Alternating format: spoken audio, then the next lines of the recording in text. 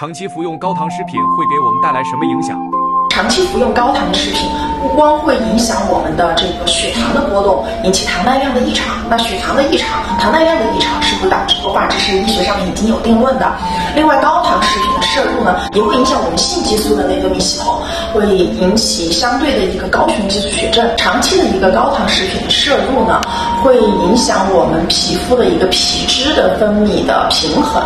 啊，往往会引起一些啊皮肤的油腻的一些疾病，比如说啊痤疮啊，比如说脱发啊这一类的疾病都可以由高糖饮食引起。因此呢，我们还是建议大家健康饮食，可以喝咖啡，喝喝牛奶，但是呢适量，并且不要加糖。那对于这些不健康的食品，无论是从心血管系统还是毛发系统呢，我们都是不建议大家大量服用的。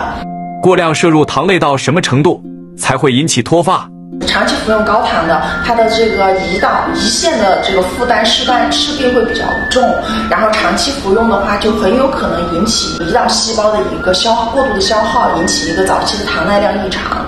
啊，糖耐量异常是会导致脱发的。正常脱发和过量脱发的区别在哪里？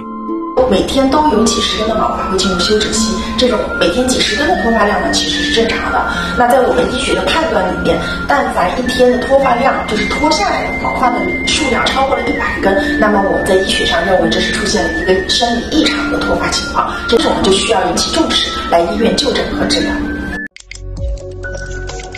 看视频，上封面。